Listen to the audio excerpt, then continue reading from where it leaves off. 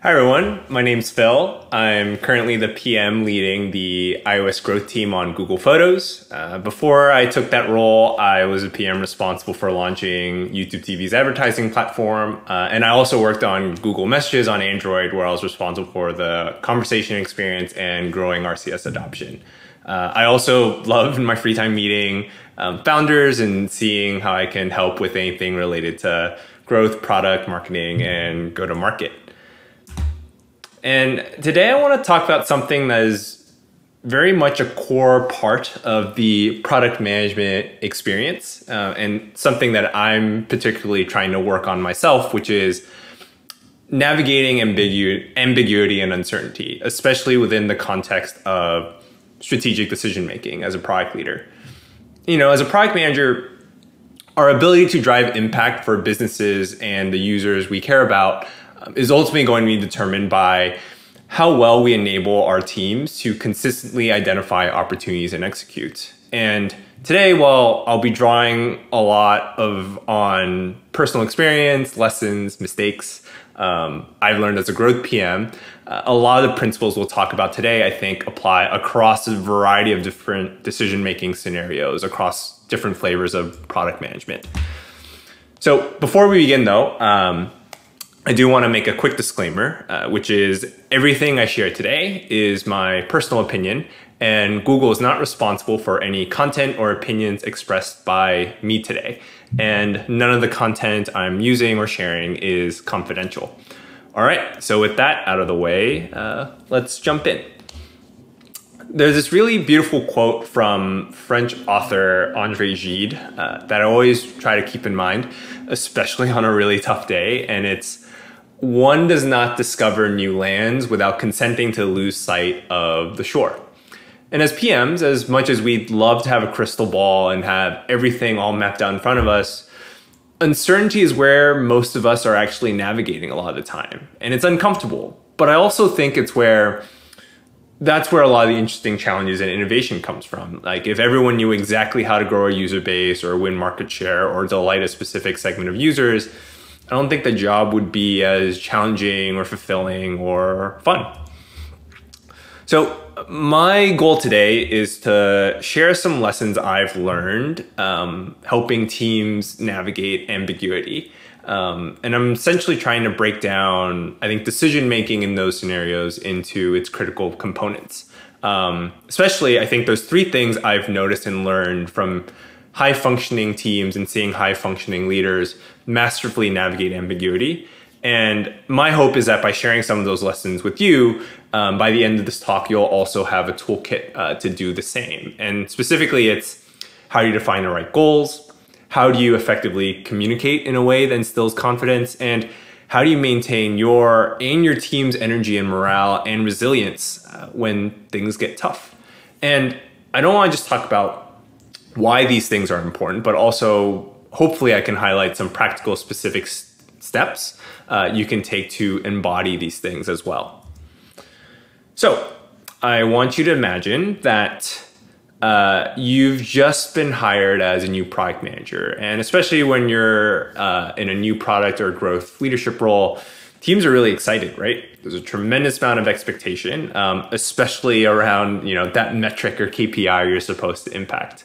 And you're excited. Uh, you took a Reforge course, you read Lenny Rachitsky's newsletter, and you have all these frameworks that you're excited to apply from things like jobs to be done to Porter 7 powers. And you know, you're bustling with energy because you're a superstar and you're confident that uh, you could deliver impact.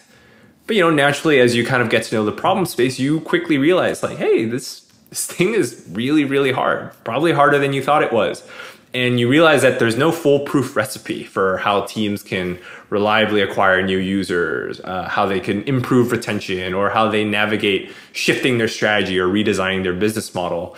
And you know, a 10-step framework isn't going to save you from the hard work of actually thinking through um, some really hard, ambiguous problems.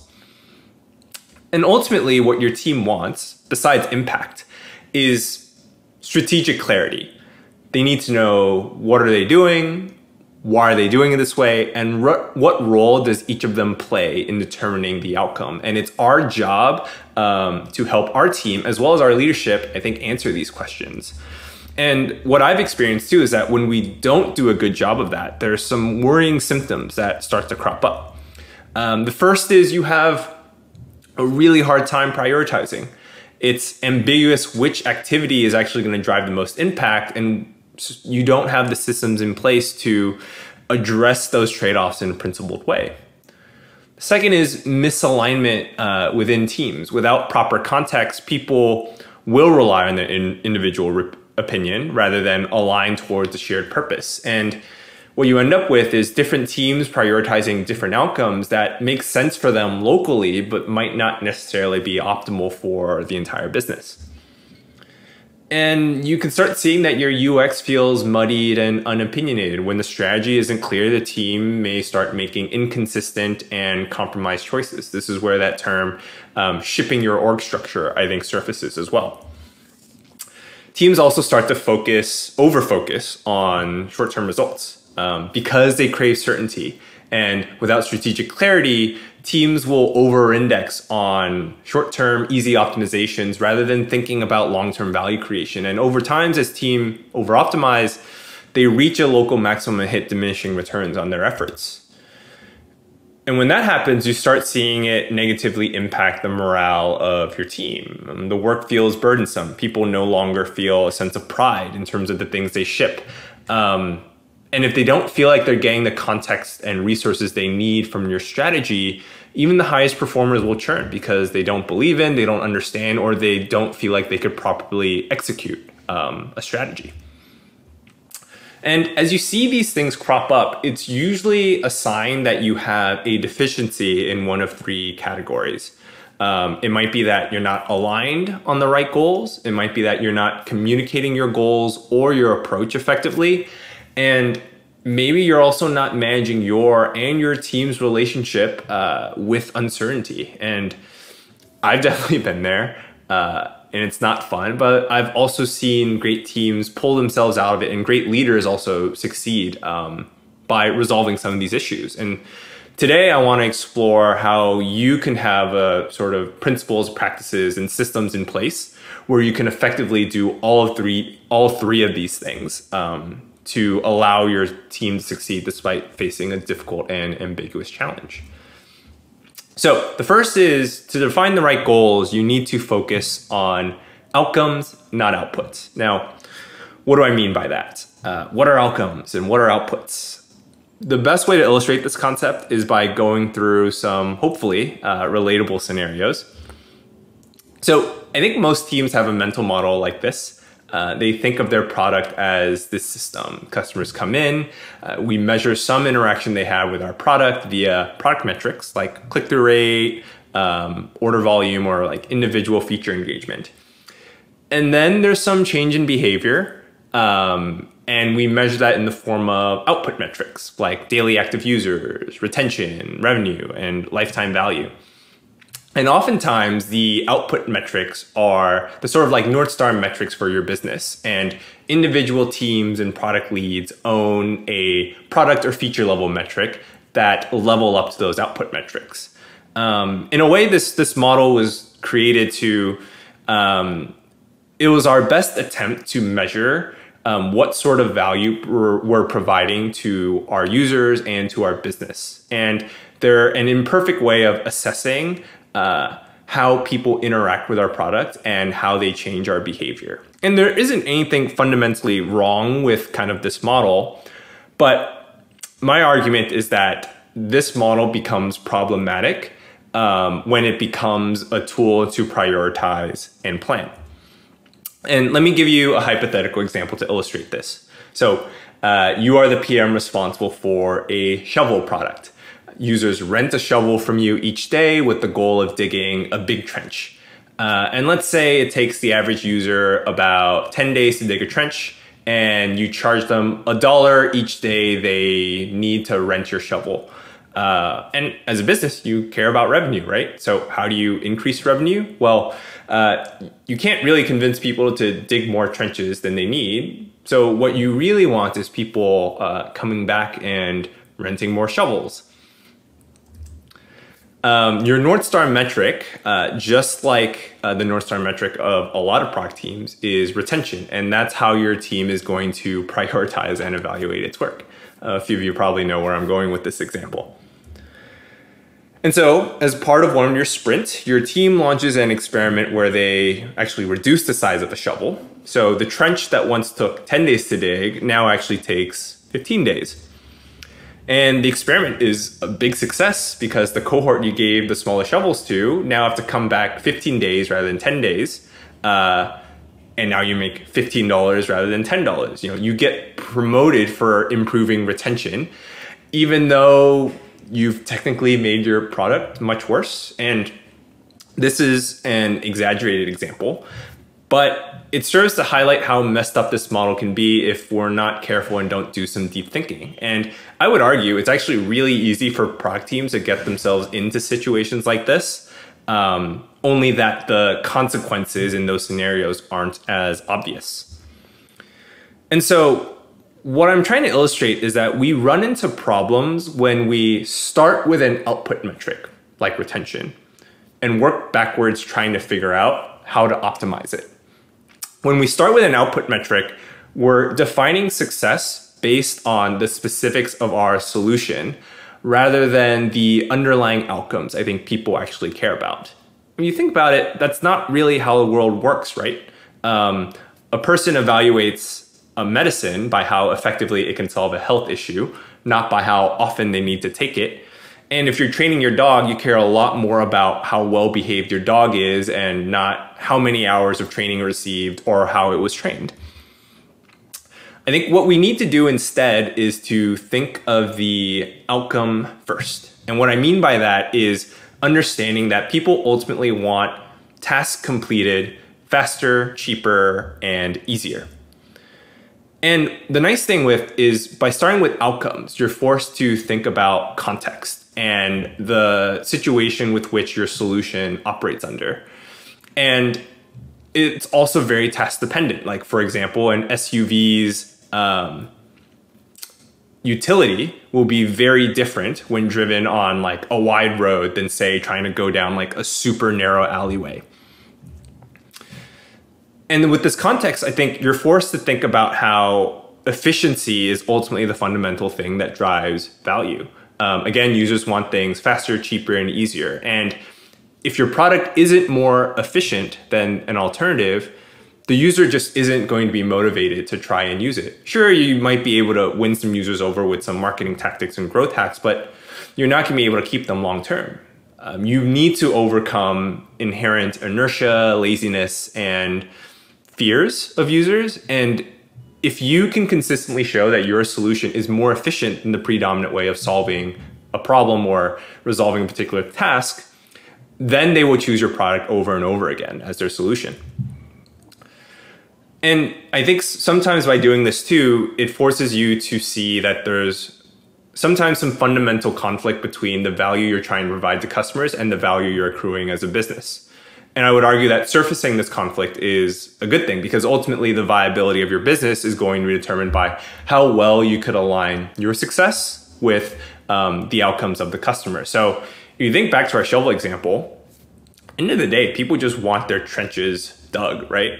And ideally you want to help them do that faster, easier, and cheaper. And you see some conflict with your business model. Maybe you have to evaluate hey, maybe we don't go with this like rental model and we should just charge for purchasing the entire shovel.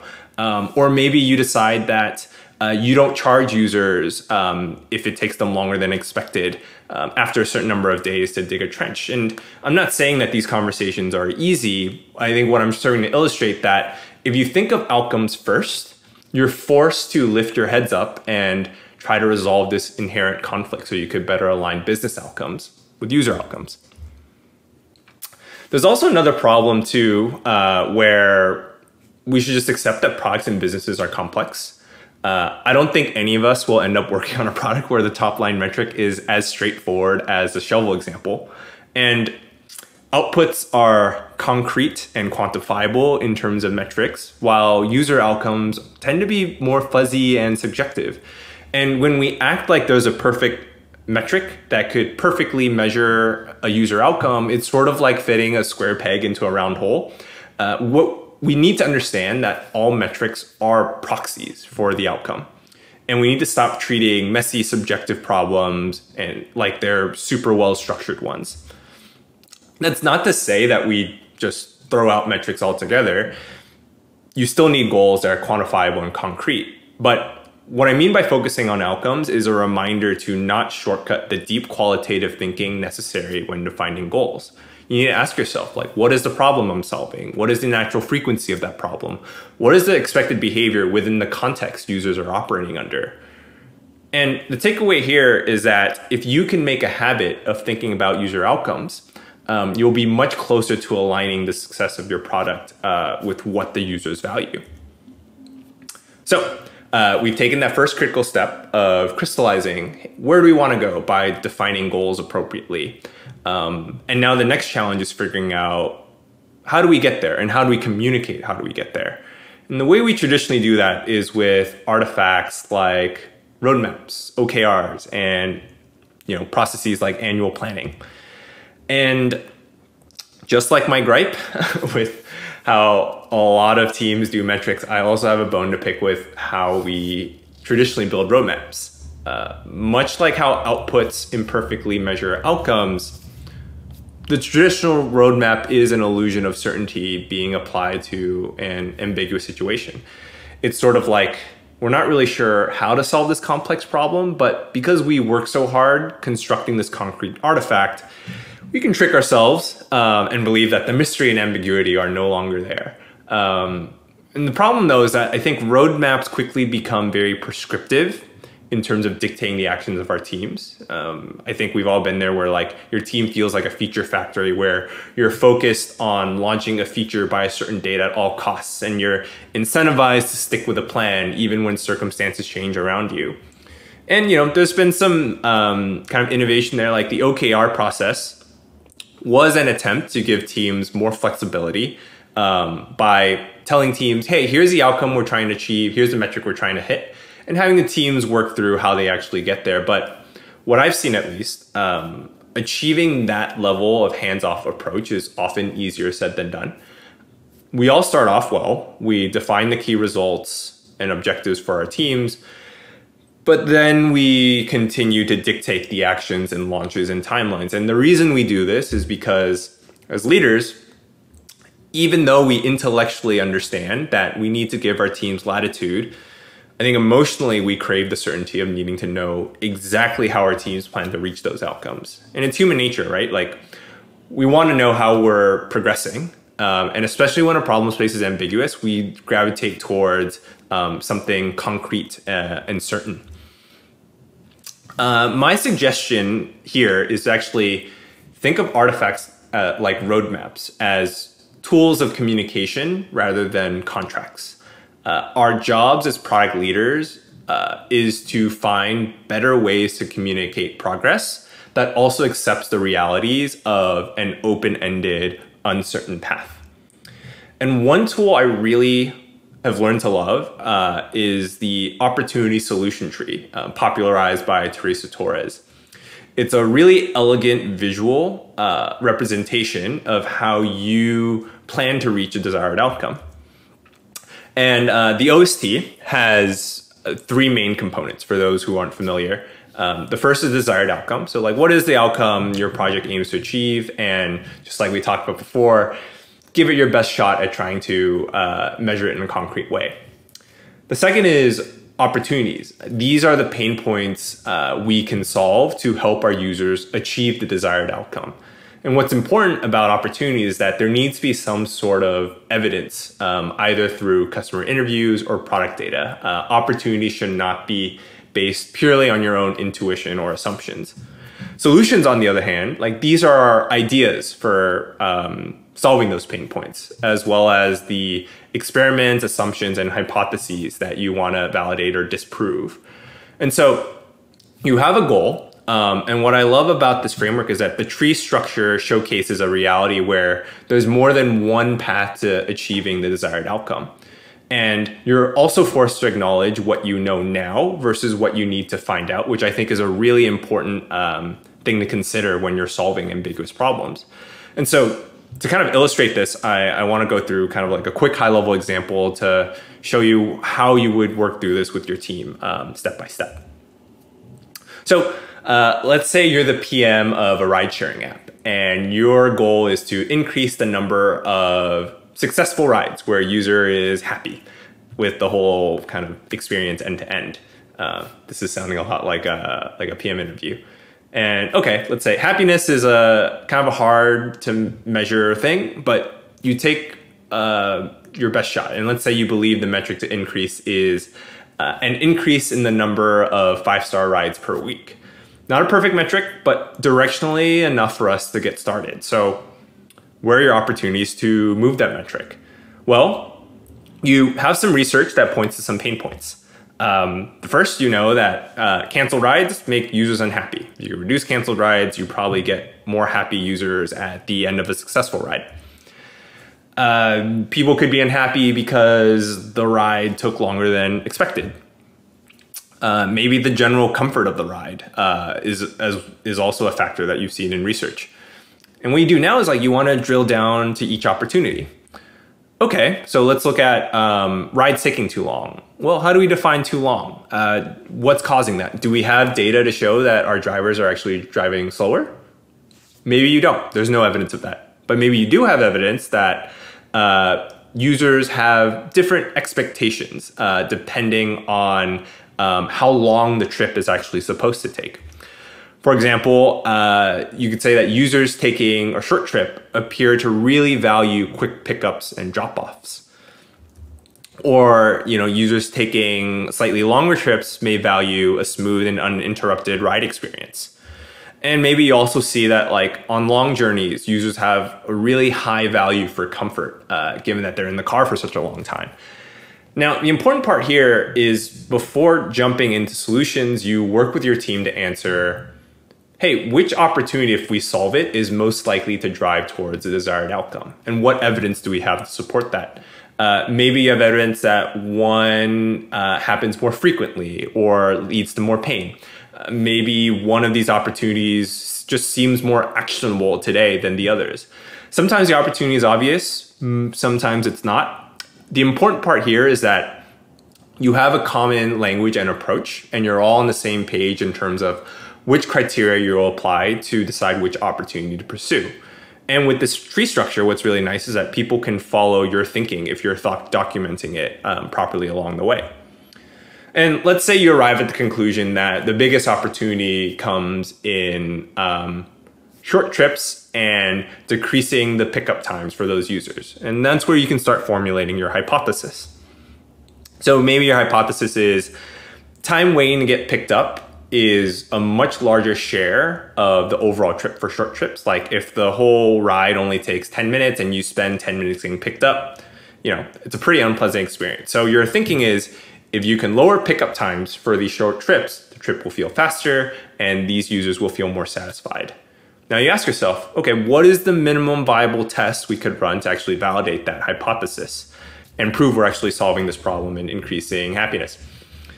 And so you do, okay, for this cohort of users for this amount of time, if they call trips of a certain length, we make sure drivers prioritize picking them up, which will subsequently shorten um, the pickup times. And we'll say our hypothesis is valid if we see a 10% increase in five star ratings for users on short trips. Um, that got those prioritized rides. Then, as your experiment concludes, you surface the results of each experiment on your OST as well. Um, and be inquisitive and ask the like now what so what sort of questions is uh, the opportunity larger or smaller or more or less actionable than we believed uh, has the problem become easier or harder to solve is this still right is this still the right opportunity to pursue or do we need to update or cross off completely different parts of our opportunity solution tree? And the point of this exercise isn't to say that this magical framework is going to solve every challenge you have in your business. really my intent is showcasing how it's really good to embrace a strategy that's based off user outcomes and hypotheses. Uh, what I like about this framework is that it allows us to accept the unknown as a natural part of this discovery process, and that uncertainty isn't something we need to eliminate at all costs. This is sort of how you build a roadmap of what you need to do as a team driven by hypotheses you have. And with this sort of framework, you now have a shared language and a set of practices um, to flexibly and adapt to reality. All right, so we've talked about defining the right goals. We've highlighted some ways to communicate and execute uh, this uncertain path you're undertaking. Those two things are, I think, like the bird's eye view. But now I want to zoom in and talk about like what do you actually do day to day when you're kind of like in the thick fog of uncertainty. Um, so in this section, I just want to riff on some really helpful lessons I've sort of learned over the years and emulated from like really excellent um, leaders I've seen. Um, and sometimes I actually I actually write these things down and stick them to my laptop to remind me to practice these things. And obviously not perfect, but I can confidently say that the days where I do these things effectively, I think the team really benefits from them. The first is to operate transparently and predictably. So to level set, I think here's a pretty sobering statistic for you. Um, I think Microsoft published this actually, uh, and I've actually kind of experienced this firsthand. Uh, only about 10 to 20% of experiments will lead to the results you expect, essentially positive results. So if that is the baseline, that's a lot of failures. Uh, and even the most optimistic and resilient among us, I think, would have a really hard time getting punched in the gut that effectively or that often. And nevertheless, your job as a leader is to ensure you and your team cope with that baseline and can still operate uh, effectively. And what I've seen is that I think there's a tendency um, for product and growth leaders to brush quote unquote failures under the rug. So you think of like all the dead, dead ends you hit, all the experiments that didn't deliver the results you hypothesized. It's important to stop thinking of those as failures in my mind, the real failures are when experiments deliver inconclusive results.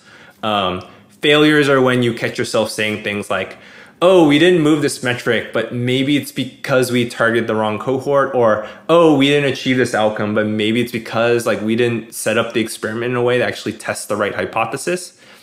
And how you avoid that is you need to shift your mindset from how do I maximize metrics with this experiment to how do I make sure we maximize learnings? And it's also important to not learn in private, learn in public, socialize your learnings far and wide, um, even when things don't go your way, because you'll be surprised.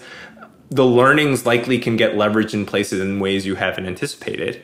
And what's nice about that is that if people see that you are transparent, if people see that you're able to detail the rationale behind your decisions, if you're able to articulate what happened, they trust that you're able to think deeply about what to do next. And that's really powerful in countering people's sort of anxiety and impatience. And being predictably, consistently transparent is really powerful, especially when the outcomes themselves uh, aren't predictable. And sometimes that could even mean saying, I don't know. And that sometimes even means saying, hey, my bad, I was wrong about that one people need to feel like they can always rely on knowing what's happening, what you're doing next, and why. And if you can do that, people feel invested and gain confidence in not only your process, um, but you as a leader as well. Another tip is to focus on what you can control. Um, you can't control the outcomes. Uh, you can't control and you can't know what's going to happen next. So, what you can control is, I think, how effectively your team is executing. There are so many things you could do to ensure that your team is learning as quickly and effectively as possible. And the things like, are you being thoughtful about how you scope experiments? Uh, hopefully, using some of the frameworks we talked about. Uh, are you thoughtful about communicating your thought process and next steps effectively? Um, are you showing up every day engaged and excited and also setting a good example for your team like these are sort of things that you can control and i think they're very much things that should be part of our focus and so i don't know i, I think the other thing that we talk about a lot is like shots on goal um, definitely maximize shots on goal um, even if you miss, if you shoot a lot, eventually some are going to go in. Um, and this isn't to say you should just blindly kick the ball wherever you go, but it's it's a reminder that you should try to learn as much as you can as quickly as possible. And you might not have all the answers now, but the more you learn, the closer you'll get to uncovering the path towards your goal. And I would say like an underrated sort of competitive advantage of product teams or just businesses in general is how well they can understand their users, how well they can understand their market, and how well can they get signal on where the opportunities are and where they could iterate to capture those opportunities. Um, and that comes from maximizing your shots on goal and trying to learn as quickly as you can. And another tool I found that's really useful is to have some cadence of what we call learning reviews. Um, and I've seen some high functioning teams do this really well. Um, so instead of going through a summary of last month's metrics and launches and milestones, shift your focus to this month's learnings. Don't just ask, hey, what did we do? Make sure you chart your progress by also asking, what did we learn? And five questions um, that come up that tend to spark really good discussions during these reviews. They're what did we try? Uh, what did we think was going to happen? What actually happened? What did we learn? And what are we going to do next based on those learnings? And what's important is that like if you take a learning focused lens in these reviews, it's really effective at reminding you and your team that their work is valuable, even though the problem space is inherently difficult.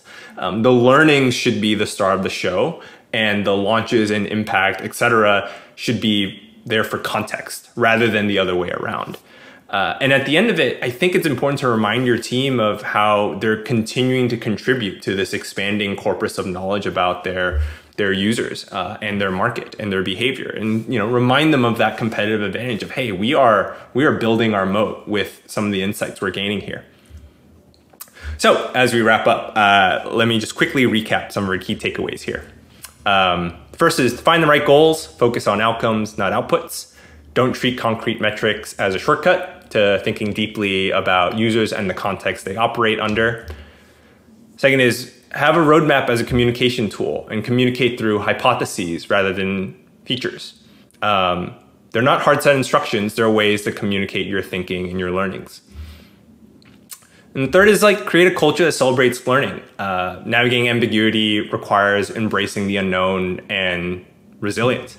Um, remember that what you can control is how you approach each day, how effectively and how quickly your team is learning and how well they're kind of celebrating these learnings as well. So to close, I know these principles sound simple. Uh, I don't think I'm winning any Nobel Prizes here for delivering them, but I do really believe they are the cornerstone of your success uh, as a decision maker. And I also know they're uh, much easier said than done, but I'm convinced that if they're things that you can work on, you'll be equipped with the skill set to tackle com complex challenges with confidence, to lead your teams effectively, and to always keep an eye towards the ultimate goal of delivering real value to the customers you care about. And you know, we're you're here in this webinar because you know you're a eager learner with a growth mindset trying to get better each day. And I think tackling these sort of product challenges should require the same ethos and approach. Um, thank you everyone for sticking around this long. Uh, and if you found value in any insights shared today, like please feel free to connect with me on LinkedIn. Um, if you could, if you feel like you could benefit from any sort of, I think, guidance or discussion or consulting um, related to product management, growth, or anything really, please don't hesitate to reach out. Um, like I mentioned earlier, I love working with um, product leaders, meeting other product managers, love meeting founders. Um, so if there's anything I could help with, um, especially related to product growth and marketing and go to market, my inbox is open. Um, thank you. Thank you for your time and attention today and wish you all the best in your product journey. Thanks so much.